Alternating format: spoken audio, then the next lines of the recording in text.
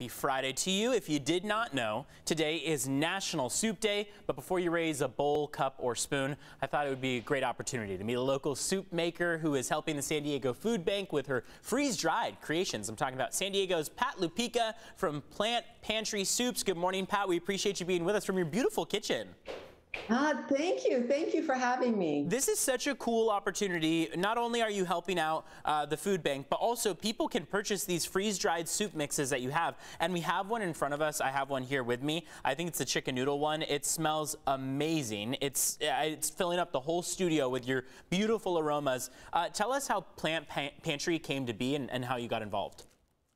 Well, we it started with family recipes in hand, and the idea for the company actually started with a cooking date with my granddaughter, who was all of five at the time.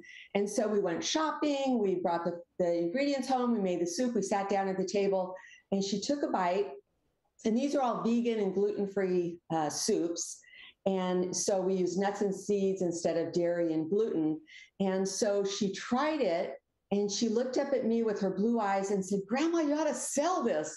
And after I got over the shock of this little five year old uh, making this suggestion, I was like, hmm, maybe we ought to sell this. So there are a lot of other inputs into the business before we started, and even after we, you know, started and, and have been on our journey. But that is the point at which this company um, started really. And I mean, I think it, I feel like it's a different idea to have these freeze dried. I assume then that kind of elongates the shelf life of it, and it especially helps those food pantries, right? It does. It does. So originally we started off uh, with refrigerated and frozen, and I was actually in my kitchen trying to find, figure out a way to come up with healthy snacks for my mom, who is now almost 90. She had very uh, strict dietary requirements uh, no sugar added, high protein, gluten free, uh, no cholesterol.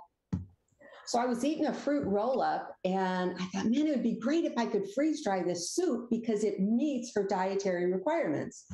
And so I started playing with different um, methods of freeze drying. We figured it out.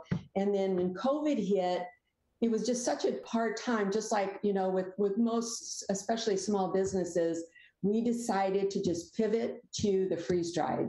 So that's where we are today. And yes it has a longer shelf life.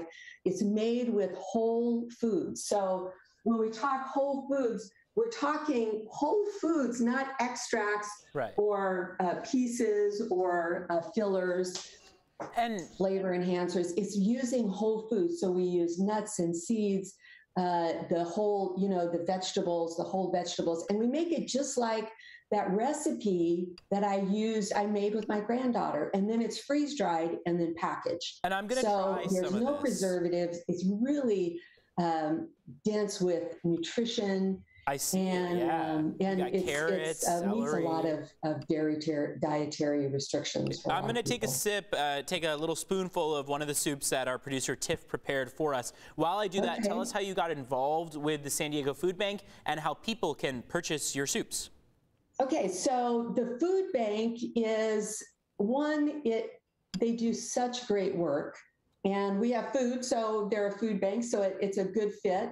And it just is a way, an easy way for us to give back. So we've extended that giving opportunity, we've extended that to our customers because we took our top sellers and we we put them on the website and you can see which ones are applicable. But if you buy one we give one to the food bank so it's just a, a great way to give back to our community, to people who just need just need a little help. It's amazing. And you guys now, are out of terms, Oceanside. Good.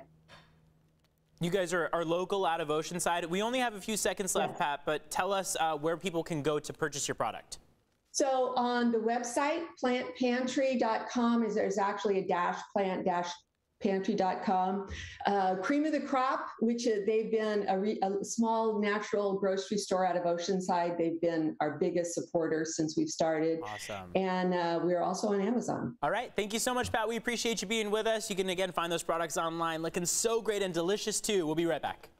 Thank you so much. Thank